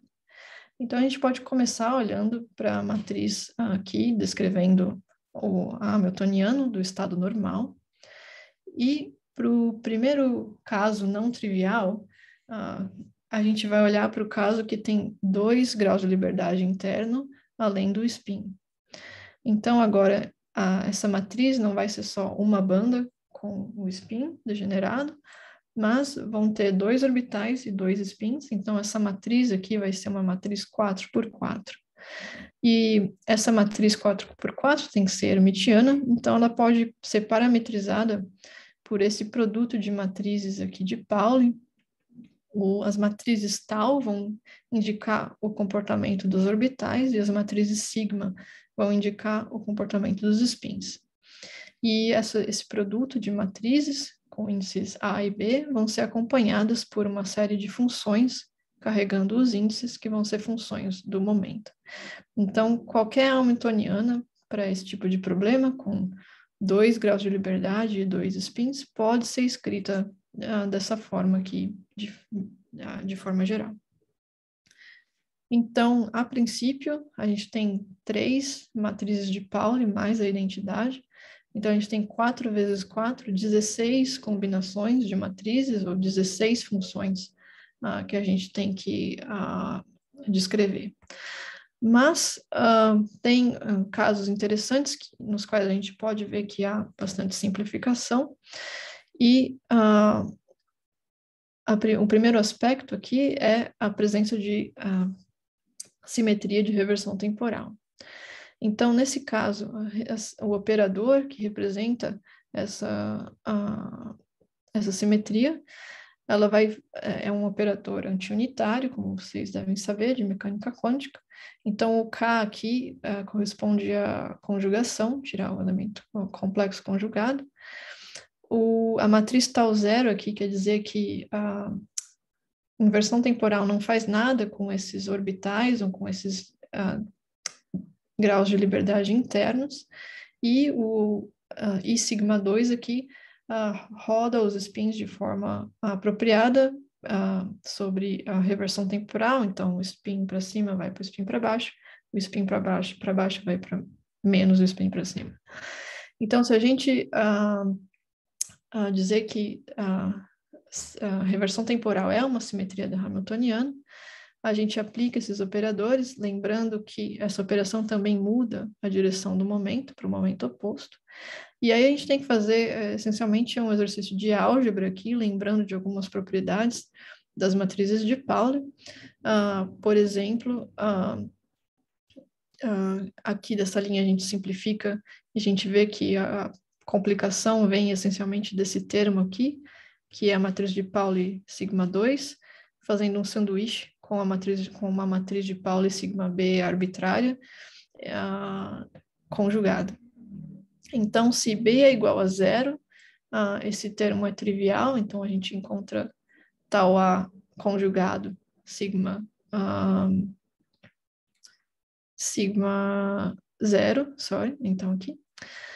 Uh, mas se B é igual a 1, 2 ou 3, é fácil de verificar que a gente encontra como resultado dessa multiplicação aqui, menos sigma B, que está escrito aqui no primeiro termo.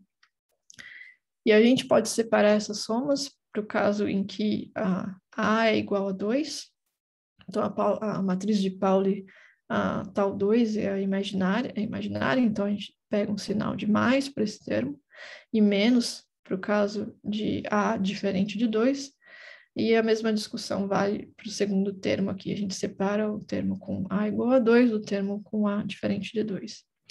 Então, uh, se inversão temporal é uma simetria do sistema, a gente tem que, o lado esquerdo tem que ser igual ao lado direito nessa equação. Então, a gente pode já deduzir que diferentes funções aqui, h com índice a, b, elas vão ter que ser pares ou ímpares, simétrica ou antissimétrica, uh, com respeito à inversão aqui do momento. Então, a gente pode colocar todos esses uh, termos, todos esses, uh, esses índices nessa tabela e uh, já ver se eles vão ser pares ou ímpares. Então, por exemplo, a matriz uh, 2, 0, com índices 2 zeros, vai ter que ser acompanhada por uma função que é ímpar uh, no momento, então 2, 0 é aqui odd, então está correto. E uh, uma matriz uh, que vai ser, por exemplo, 2, 1, vai ter que ser acompanhada por uma função que é par no momento. Então, aqui, 2, 1, par, correto. Então, essa tabela é, resume esse resultado. Uh, uma outra simetria que geralmente é importante e geralmente presente nesses, no, em sistemas supercondutores é a inversão uh, espacial. E nesse caso, a gente vai ter que separar a análise em três cenários porque agora esses graus de liberdade internos, eles podem ter propriedades não triviais com respeito à inversão espacial. O primeiro caso é o caso trivial, em que a gente tem dois orbitais com a mesma paridade.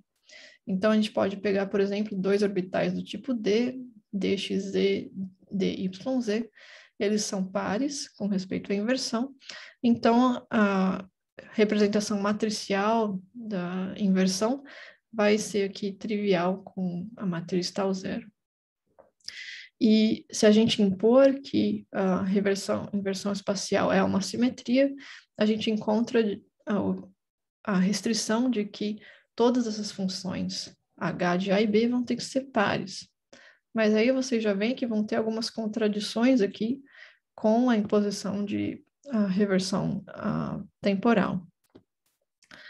Então, todas as matrizes marcadas aqui em vermelho, elas não uh, podem participar do, da matriz uh, que vai formar o Hamiltoniano para o estado normal.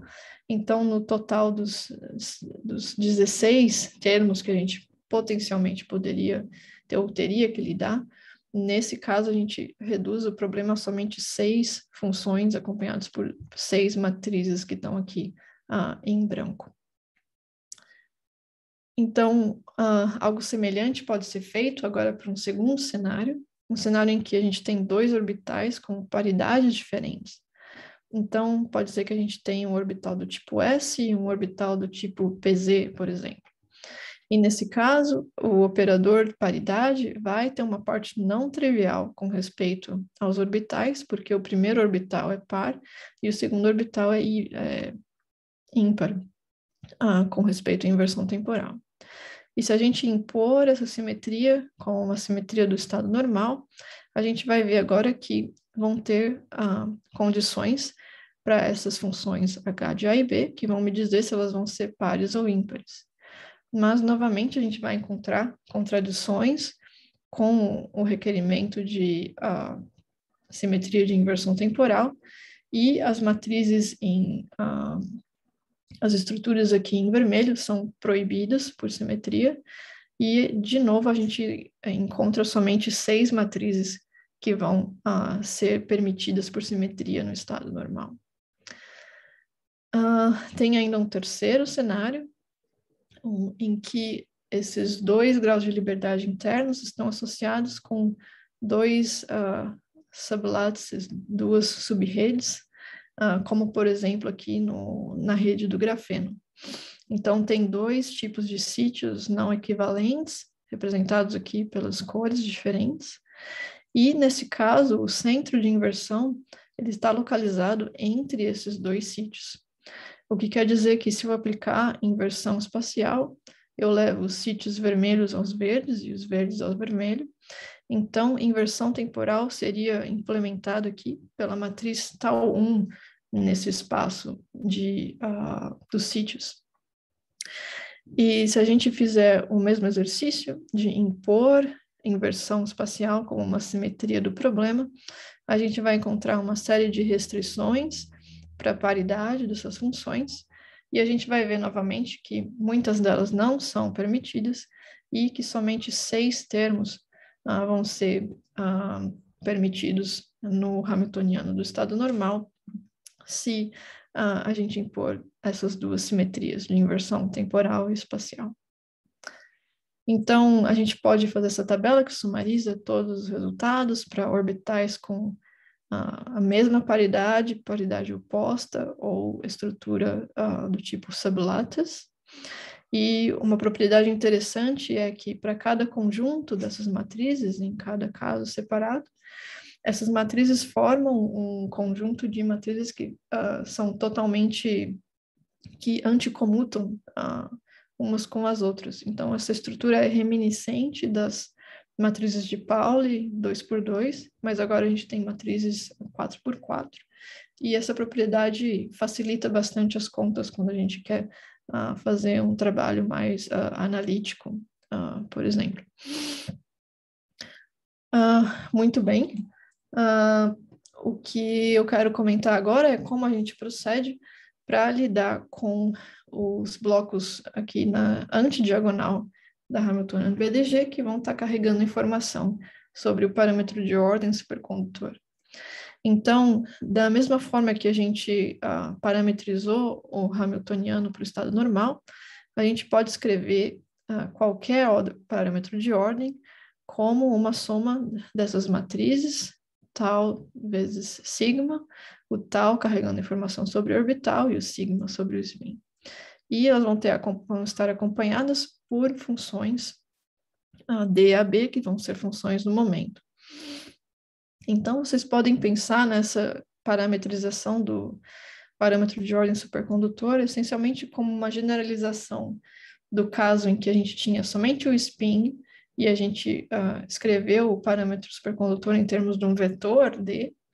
Nesse caso, a gente tem spin e orbital, então a gente tem essencialmente um tensor D. Então, é uma generaliza generalização uh, dos parâmetros de ordem uh, daquela, uh, daquele estado mais simples com somente uma banda com spin. E dessa forma a gente pode ver uh, que, novamente, há então 16 tipos de parâmetros de ordem diferentes que vão ter que ser classificados uh, de acordo com as simetrias. E aqui, só para enfatizar o significado físico desses índices, se A é igual a 0 ou 3, as matrizes no espaço orbital são diagonais, então quer dizer que o pareamento é feito entre orbitais do mesmo tipo, então é intraorbital. Mas se A é igual a 1 ou 2, as matrizes são, anti, são antidiagonais, e quer dizer então que o pareamento é entre orbitais de diferentes tipos, então é interorbital. E como a gente já sabia antes, se B é igual a zero, a gente tem spin singleto, e se B é igual a 1, 2 ou 3, a gente tem o spin uh, tripleto uh, no par. Então, a gente pode uh, fazer o exercício aqui de checar qual é, quais são as propriedades dessas matrizes para todas as combinações de índices A e B aqui. Então, se A é igual a 0, 1 ou 3, a matriz na parte orbital é simétrica, mas se A é igual a 2, vai ser antissimétrica. E aqui esse produto correspondente à parte dos spins vai ser antissimétrica para B igual a zero, mas simétrica para B 1, 2 ou 3. E isso se repete aqui até o final da tabela. O que a gente precisa ver agora é o, o produto dessas simetrias, então algo simétrico vezes algo antissimétrico me dá algo antissimétrico. E dessa propriedade geral aqui do parâmetro de ordem, a gente sabe se que se a matriz é antissimétrica, então o parâmetro de ordem vai ter que ser é, even, vai ter que ser par uh, ou simétrico no momento. Então, a gente pode aqui, por esse exercício, por verificar só quais são as simetrias uh, da parte uh, matricial do parâmetro de ordem, já definir se eles vão ser acompanhados por funções pares ou ímpares do momento. E Uh, mas agora algo delicado, é a simetria de inversão, que agora ela não somente muda o sinal do momento, mas ela pode ter uma representação não trivial, que então vai meio que gerar uh, casos uh, inusitados, e a gente pode ver que ela, a paridade do parâmetro de ordem, sendo que even or odd, simétrico ou antissimétrico, uh, sobre inversão espacial, vai ser diferente dependendo da natureza desse, desse grau de liberdade extra que a gente introduziu. Então, a gente pode ver que coisas não esperadas acontecem. A gente aprendeu que se o parâmetro de ordem é um spin singleto, a função é sempre par no momento, sempre simétrica. Mas aqui a gente vê algo inusitado, que se o par for antissimétrico nos orbitais, se A for igual a 2, a gente pode ter um spin singleto que, na verdade, é ímpar em momento.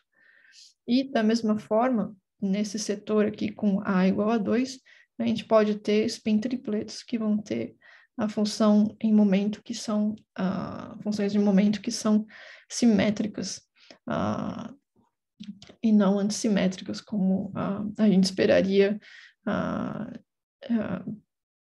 do caso mais simples de somente uma banda.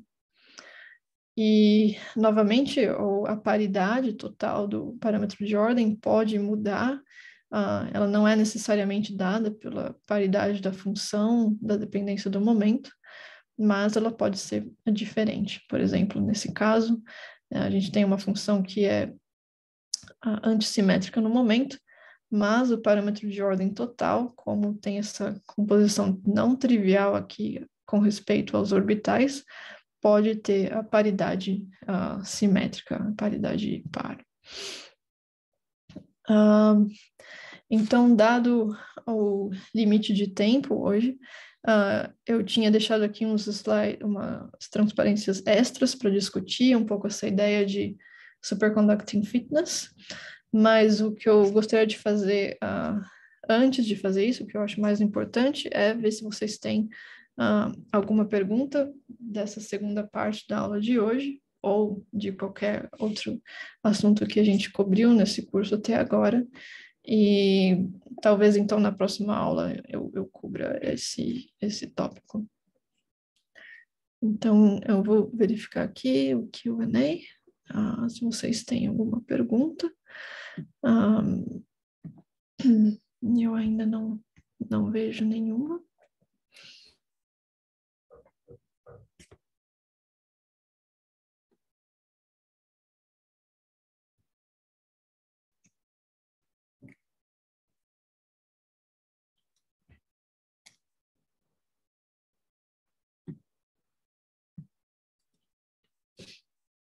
A gente ainda tem uns 10 minutos uh, com a sala do Zoom aberta aqui.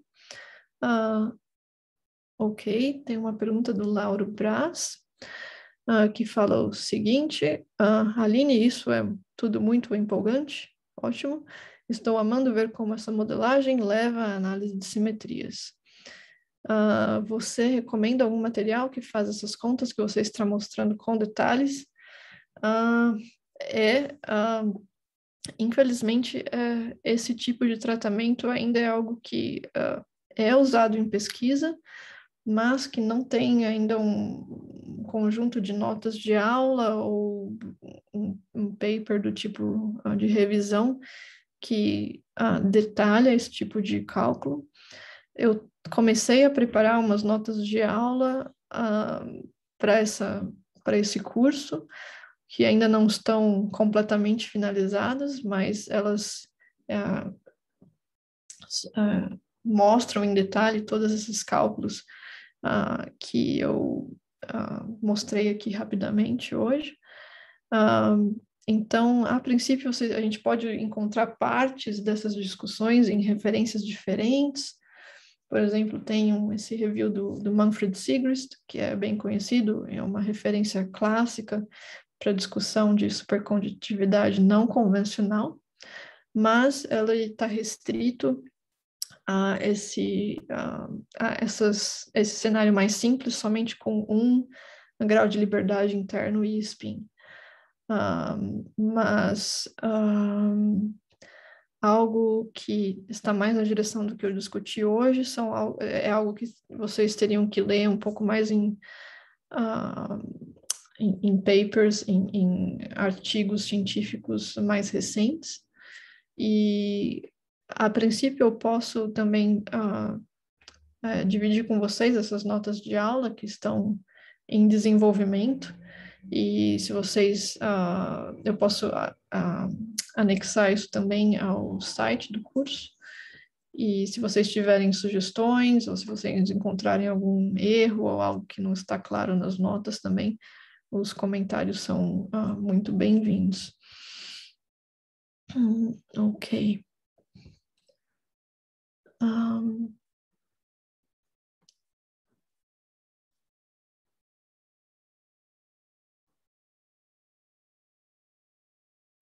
então, se uh, não tiver mais perguntas, né, de nada, Laura, uh, Se vocês não tiverem mais perguntas por hoje, uh, então uh, eu vou sugerir que uh, eu vou colocar essas notas no site, vocês podem revê-las em detalhe. se vocês estiverem interessados, e a gente pode discutir um pouco se vocês tiverem perguntas na aula que vem, no começo da aula que vem. yeah.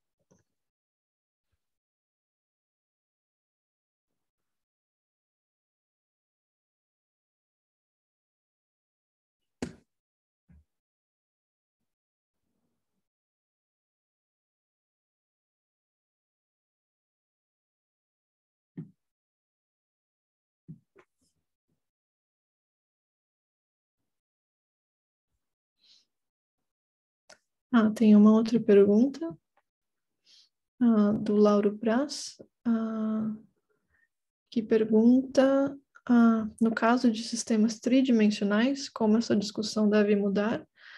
Ah, não, praticamente nada mudaria, eu diria. A discussão ah, dos grupos é a mesma. Na verdade, ah, alguns desses grupos que a gente já discutiu podem ser considerados grupos tridimensionais, quando a gente tem essa rotação dos eixos no plano.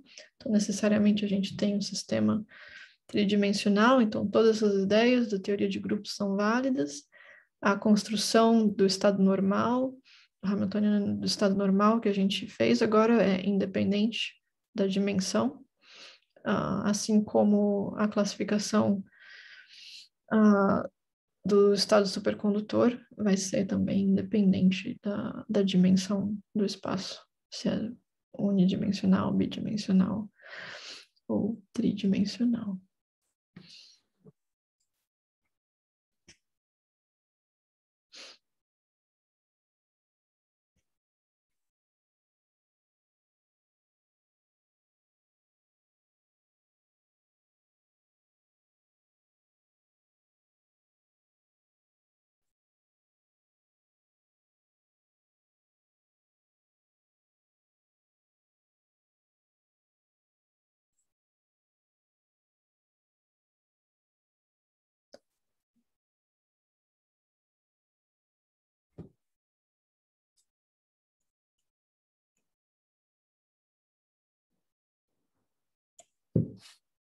Ah, tem uma outra pergunta aqui do Lauro. Não entendi também o que seria o supercondutor. Um, a gente pode voltar bastante. Aqui. aqui.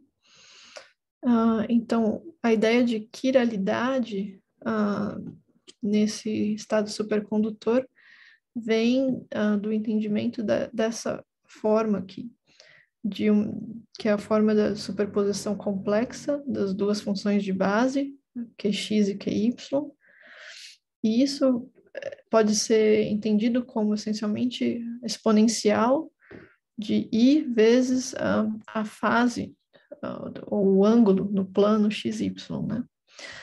Uh, ou a gente pode, por exemplo, usar a regra da mão direita, sabe? e se o, a evolução do ângulo uh, for uh, uh, no sentido anti-horário, a gente pode falar que tem uma quiralidade positiva, mas se a evolução da fase for e a menos i vezes o ângulo no plano xy, a gente vai ter então a quiralidade no sentido oposto.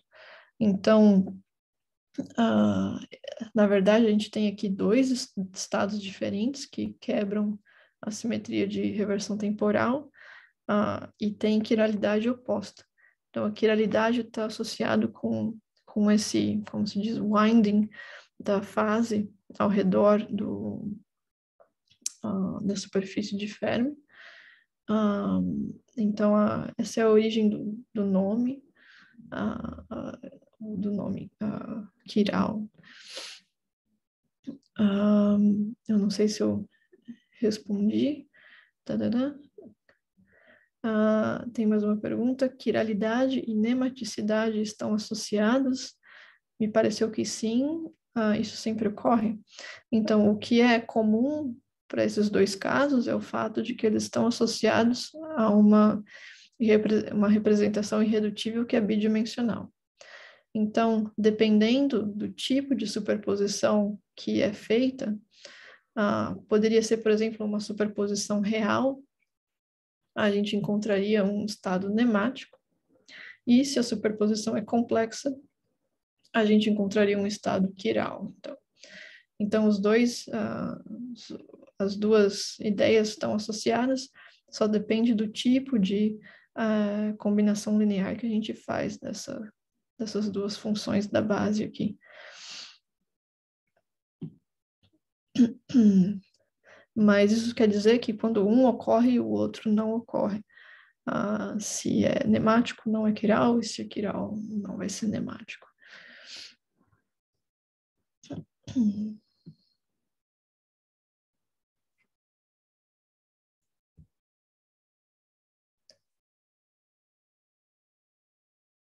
Ok, então uh,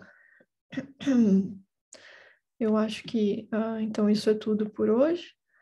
Uh, a gente pode então talvez se retirar já e a gente se encontra amanhã então para a última aula e a gente vai continuar com um exemplo específico desse material que é um supercondutor a partir de um, topo, um isolante topológico dopado. Então, ah, obrigada a todos novamente pela participação e ah, até amanhã.